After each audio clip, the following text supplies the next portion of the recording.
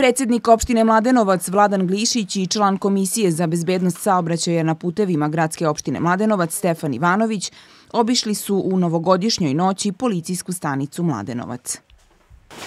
Evo, bravo. Šefe, predsjednik opštine. Nova godina, najbolje vama i našoj porodici.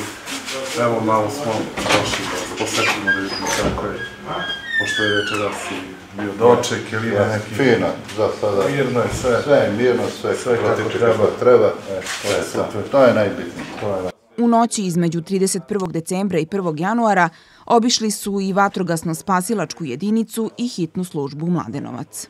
Srećna nova godina, sve najbolje. Dobro večer. Srećna nova godina. Srećna nova godina. Srećna nova svima, sve najbolje. Srećna nova godina.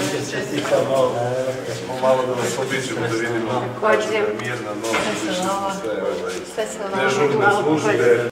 Predsednik opštine Mladenovac proverio je i kako je protekla noć u specijalnoj bolnici za interne bolesti. Slušaj, ovo je prvi put da neko je došao da podsjeti. Prvi put ja sam 43 godina ovde. Iako uspemo da napravimo zdravstveni centar, Da će da, pa bi da imamo trebalo. sve ovaj, specijalističke službe, Da, i tako i treba, da.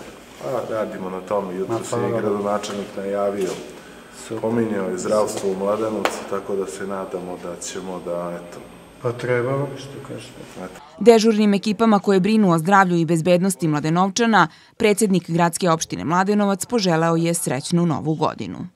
mirno veče, doček nove godine, obišli smo dežurne službe, one koje večeras rade, a to su ekipe hitne pomoći, ekipe e, policijske stanice, e, vatrogasci i evo naša bolnica za interne bolesti. Najvažnije je da je mirno protiče noć, noć da nema nikakvih incidenata. Glišić je istakao da je posao koji obavljaju ove službe izuzetno odgovoran i u službi svih građana i da će opština uvek pružiti podršku i pomoć kako bi se kvalitet rada i usluga tih ustanova podigao na još veći nivo.